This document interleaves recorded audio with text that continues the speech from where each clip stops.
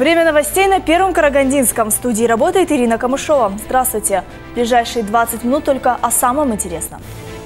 В Караганде бастуют строители. В Абае приостановлено строительство аквапарка. Прокуратура выявила подпольный цех по производству хлебобулочной продукции. В Караганде бастуют строители. Рабочие, которые возводят жилой комплекс на юго-востоке, отказываются выходить на работу и требуют вернуть долги по заработной плате. Строительная компания «Оливия» задолжала работникам за три месяца. Оливия, плати зарплату! Оливия, плати зарплату! Оливия, плати зарплату! Оливия, плати зарплату! Сегодня в очередной раз несколько десятков строителей отказались выходить на работу. Люди требуют выплатить им заработную плату за три месяца. В общей сложности генподрядчик компания «Оливия» задолжала рабочим более 12 миллионов тенге. Строительная бригада в своих бедах винит Акимат. Э, мотивирует тем, что э, Акимат, Акимат не выделяет деньги.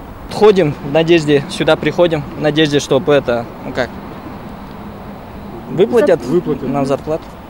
Уже больше месяца строители не выходят на работу, перебиваются временными заработками, чтобы хоть как-то прокормить семью. У меня семеро детей, кормить нечем. Ходим тоже с колым, перебиваемся. Не ну, будем судиться дальше. Надо без зарплаты как сидеть. Возмущенные застройщики готовы идти на крайние меры. Юрист правозащитного объединения, представляющий интересы трудового коллектива, поможет рабочим составить исковое заявление. В соответствии трудовыми договорами, ага. которые не заключались с той компанией, э, которая является компанией. И э, тут процедура, в общем-то, исполнена в соответствии э, с этим и договором, в соответствии с законом э, нашей страны, э, значит, даже в соответствии с Конституцией работодатель обязан, обязан в срок и в полном объеме, и с исполнением обязательства по социальному пакету выплатить им задолженности по зарплате. Представители генподрядчика уверяют, их вины в том, что рабочие остались без зарплаты, нет. Ссылаясь на неких людей свыше, обещают, проблема финансирования решится уже на следующей неделе. Эта ситуация ну, сложилась, собственно, она уже давно, ну как не по нашей, не по нашей, собственно, вине. Но, как меня заверили свыше, Э, до конца следующей недели этот вопрос разрешится полностью. Вся зарплата будет выплачена рабочим. К слову, строительство кредитного жилья по проспекту Шахтеров ведется с июня прошлого года. Сдать объект планируют в следующем году. Заказчиком является отдел строительства города Караганды. Ирина Камышова, Баужан Алипов, Марат Култенов. Первый Карагандинский. Абай останется без аквапарка. Строительство объекта было запланировано еще при жизни Акима Абайского района Иркибулана Нашарова. Однако сегодня строительные работы остановлены. Все потому, что деньги из республиканского бюджета не выделили, уверяет администрация города. Жители Абая возмущены. О проблеме подробнее Мирамгуль Салкимбаева. На строительство нового объекта должны были выделяться деньги с республиканского бюджета. Однако местные чиновники денег дожидаться не стали. Строить аквапарк начали своими силами. Вот только работы так и не завершились. Также были начаты работы в парке города Бай. Эти работы были приостановлены в связи с тем, что по республиканский бюджет, по программе условного финансирования недофинансировали нашу эту программу и оставил нас без средств. Мы как бы надеемся, что республиканский бюджет нас до конца поддержит. По словам властей города, обещанные деньги они так и не увидели. Начатые еще при жизни Акима Абайского района Еркиблана Нашарова строительные работы пошли на смарку. Жители в недоумении. Из-за чего прекращены работы и что все-таки появится на месте долгожданного аквапарка, неизвестно. Кто что говорит? Аквапарк, говорит, будут строить. Я не знаю, даже где нет. Вот здесь приехали, они копали, этот чернозем вывезли. Все. Я несколько дней назад проходила, был просто котлован. Вот теперь смотрю, заровняли все и все. Сначала он все разрыли, там фундамент, наверное, или что, а теперь он все закопали, не знаю, короче, мы ничего не знаем, короче, вот так осталось. Сегодня на месте постройки лежат лишь груда камней и песок. Вопрос строительства нового места отдыха для детей и подростков остается нерешенным. Этот объект был пока временно законсервирован но работы будут на нем продолжены. Мы не можем на как бы подрядчика обязать, чтобы он выполнял работы без средств. Потому что это работы, э, должны закупаться материалы, оборудование, это все должно установить. Он за это, за свой счет он не может установить это все. Мирамгуль Салкимбаева, Тулегин Рашид, Евгений Афанасьев. Первый Карагандинский. Карагандинские прокуроры взялись за хот-доги и гамбургеры. Надзорным органом региона выявлен подпольный цех по производству хлебобулочной продукции. Пекарня около четырех лет работала без заключения СС в одном из жилых домов Караганды. Фастфуд готовился в антисанитарных условиях. В здании отсутствовало водоснабжение, канализация, вентиляция. Чебуреки и булочки реализовывались по 35 магазинам шахтерской столицы. Скорее всего, владельцам пекарни придется оплатить штраф в размере 30 МРП и закрыть свой цех. Прокуратурой дело направлено в суд.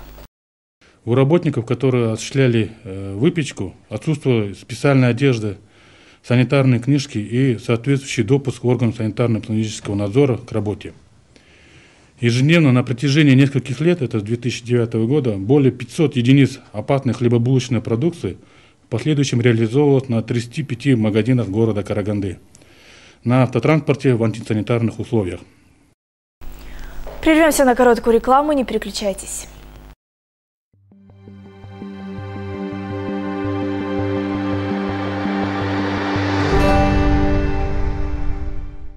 Молочная фабрика на Тиже представляет новый продукт ацидофилин. Бактерии акцидофилус выводят шлаки, токсины, очень устойчивы к действию антибиотиков, восстанавливают и укрепляют иммунитет. Японские медики называют ацидофилин страховкой от рака желудка. Натяже с заботой о вашем здоровье.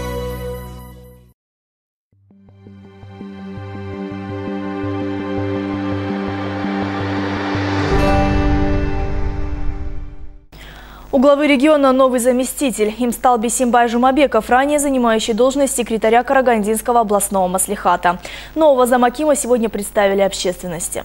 Бесимбаю Жумабекову 49 лет, он уроженец Карагандинской области, имеет два высших образования по специальностям физик-педагог и экономист.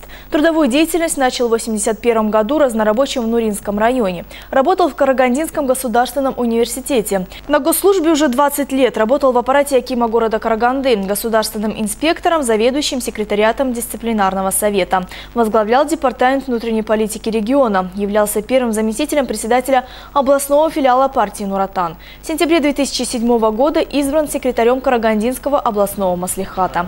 Имеет ряд государственных наград. Бисимбай Жумабеков пришел на место Берика Абдыгалеева, который освобожден от занимаемой должности по собственному желанию. Как вы видите, Бисимбай Кураш кандидатура рекомендована не случайно. Он прошел все ступени работы на руководительских должностях, имеет достаточный опыт, знания в сфере социальной сферы, внутренней политики, в целом справиться с теми задачами, которые возложены на него а, по тем направлениям, которые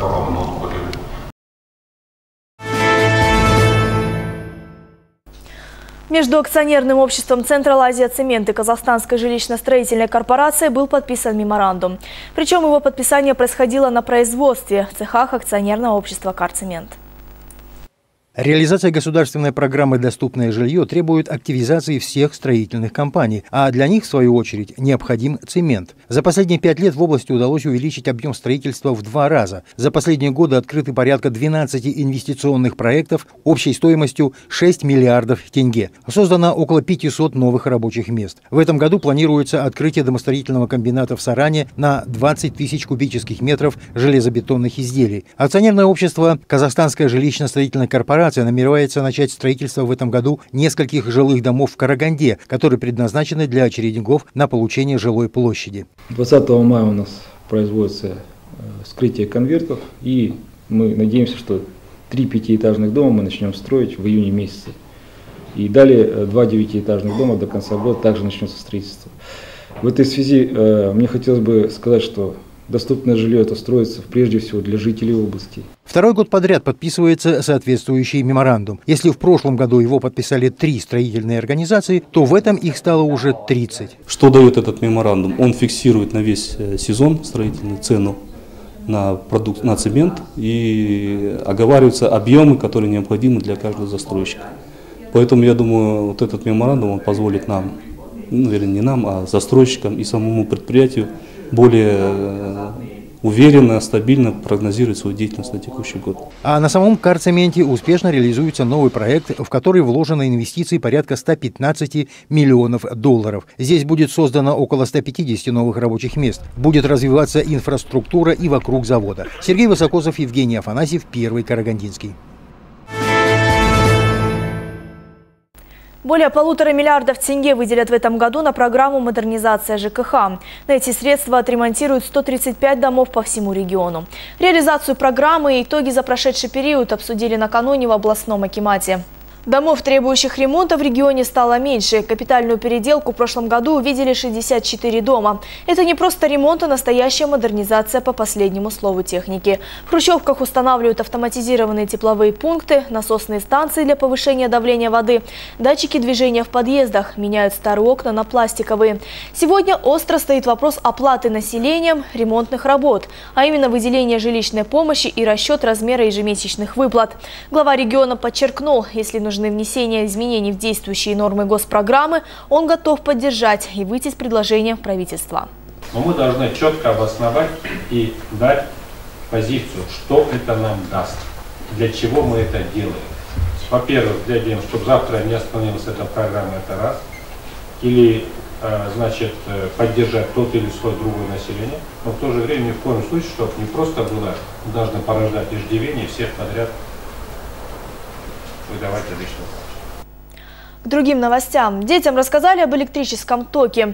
Компания «Караганды Жарык» провела урок энергобезопасности для школьников. О правильном обращении с электроприборами и поведении вблизи энергообъектов учащимся пятой школе поведали специалисты компании «Услугодателя». Не отключая вилку из розетки за электрический провод, не берись мокрыми руками за электрические приборы. Лекция сопровождалась яркими картинками. Сотрудники Караганды Жарык старались обобщить знания детей об электроэнергии. Доступно рассказать, что электричество может быть не только другом, но и врагом, если пренебрегать правилами техники безопасности. На подобных мероприятиях дети не только узнают что-то новое, но и имеют возможность задать энергетикам интересующие вопросы. Отметим, что такая профилактическая работа в образовательных учреждениях компании Караганды Жарык проводится уже четвертый год. В начале и в конце учебного года перед уходом учащихся на летний летние каникулы. Уроки энергобезопасности пройдут еще в 30 средних школах города.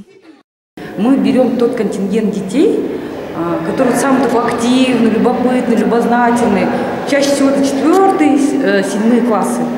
То есть все им интересно, и как бы все живут во дворах, где стоят трансформаторные подстанции, просто на роде будки. И дети любят часто играться рядышком с ними. И мы их предупреждаем и говорим обо всем как себя нужно вести, какие меры предпринимать. В Карагандинском государственном медицинском университете состоялась международная научно-практическая конференция «Экстрагенитальная патология у беременных. Актуальные проблемы и пути решения». Конференция объединила усилия и врачей-практиков, и врачей, занимающихся научными разработками из Казахстана, России и стран СНГ. На сегодняшний день экстрагенитальная патология является основной причиной материнской смертности. Развитые страны выдвигают ее на первое место вместе с сердечными заболеваниями. В организациях здравоохранения, оказывающих амбулаторно-поликлиническую помощь, э, на должном уровне можно сказать даже сегодня, что проводится диспансеризация больных. Заболевания внутренних органов были диагностированы во время беременности у 80% умерших женщин. Из них Беременность была противопоказана у 12-14%. Для охраны здоровья матери и ребенка у нас делается немало. Существует целая государственная программа, имеется нормативно-правовая база. С 2010 года продолжается ежедневный мониторинг критических состояний, мониторинг своевременной госпитализации беременных. Для сохранения здоровья матери и ребенка повсеместно внедряется система стандартов Всемирной организации здравоохранения. Показатель материнской смертности снижается из года в год, но он все-таки существует. Снижается также показатель младенческой смертности. Он снизился на 9% и составил 13,5 на тысячу родившихся живыми. Однако удельный вес именно экстрагенитальной патологии в структуре материнской смертности за последние 10 лет вырос. И вырос внушительно в два раза. Акушерские осложнения отошли на второй план. Тематика конференции включает разностороннее освещение актуальных междисциплинарных проблем, связанных с беременностью. Тем не менее, есть и такие причины, которыми можно управлять. И управлять этими причинами можно только на уровне, вот, э, э, на уровне государственном уровне. Почему? Потому что на региональном вот собрать воедино всех специалистов, собрать воедино всю экстрагенитальную патологию, ее статистику, ее проблемы, ее пути решения э, достаточно трудно. На конференции обсуждались вопросы организации медицинской помощи больным с экстрагенитальной патологией, ее ранней диагностики, лечения, профилактики, роли медицинского образования. Экстрагенитальная патология у беременных – это рождение нашего времени, нашей урбанизации. С одной стороны, это говорит об экономическом развитии страны, но с другой стороны, проблема встает, и с ней надо бороться. Конечно, безусловно, международное такое вот обсуждение, оно, конечно, очень э, дает, должно дать свои плоды в плане дальнейшего уменьшения и заболеваемости, и снижения материнской смертности. В рамках конференции сотрудниками Государственного научно-исследовательского центра профилактической медицины из Москвы был проведен мастер-класс «Введение беременных с заболеванием сердца и эндокринной системы для терапевтов, кардиологов, эндокринологов, акушеров-гинекологов и врачей общей практики». Сергей Высокосов, Евгений Афанасьев, Первый Карагандинский.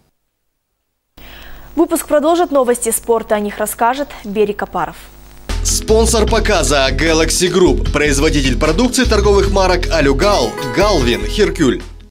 Компания Galaxy Group вот уже 18 лет является основоположником сектора производства пластиковых и алюминиевых профилей для окон и дверей в Республике Казахстан. И мы представляем вашему вниманию эксклюзивную продукцию казахстанской фирмы Алюгал. Алюгал производит алюминиевые профили широкого ассортимента и высокого качества, любой сложности и на заказ. Балконы, двери, окна, офисные перегородки и входные группы. Алюминиевые профили Алюгал это современно, долговечно и престижно. Мы можем подобрать любой цвет, легко в сборке и проста в эксплуатации, ведь продукция фирмы Алюгал адаптирована на наш климат. Алюминиевые системы – это Алюгал. Со 2 по 6 мая в российском городе Волгодонск проходил юношеский чемпионат мира по рукопашному бою. В соревнованиях принимали участие более 150 человек из 16 стран ближнего и дальнего зарубежья. Помимо стран постсоветского пространства, на турнир прибыли спортсмены из таких государств, как Голландия, Чехия и Болгария. Неоценимый вклад в успешное выступление наших соотечественников внес главный тренер сборной Казахстана Николай Шедин. В составе сборной команды Казахстана выступало 5 спортсменов из Карагандинской ДЮСШ единоборств. Ну, конечно, выступили хорошо. У нас от нашей области э, звание чемпиона мира завоевал два, два человека, две золотые медали. Это Кабдраш Бексултан, возраст 16-17 лет, вес 55 килограмм. И Тлюбердинов Султан, вес 75 килограмм, Э, из Дубовской средней школы. В целом, по результатам соревнований, сборная Казахстана заняла второе командное место. Карагандинская область делегировала в сборную 6 бойцов, собрала две золотые и три бронзовые медали. Таким образом, все спортсмены завоевали призовые места. Отдельное спасибо чемпионам, среди которых был и Султан Тлеубердинов. Занимаюсь 2007 года, э, занял на чемпионате мира первое место, стал чемпионом. Э, были очень тяжелые бои, у меня было 4 боя. У меня финал, конечно, был с Россией. Он был очень тяжелый. Я выиграл 5-3. На этом у меня все. Напоминаю, телефон новостной службы первого Карагандинского 42 06 49. Звоните, делитесь интересной информацией. Смотрите на завтра в это же время. Всего доброго. Аман Сау Бонздар.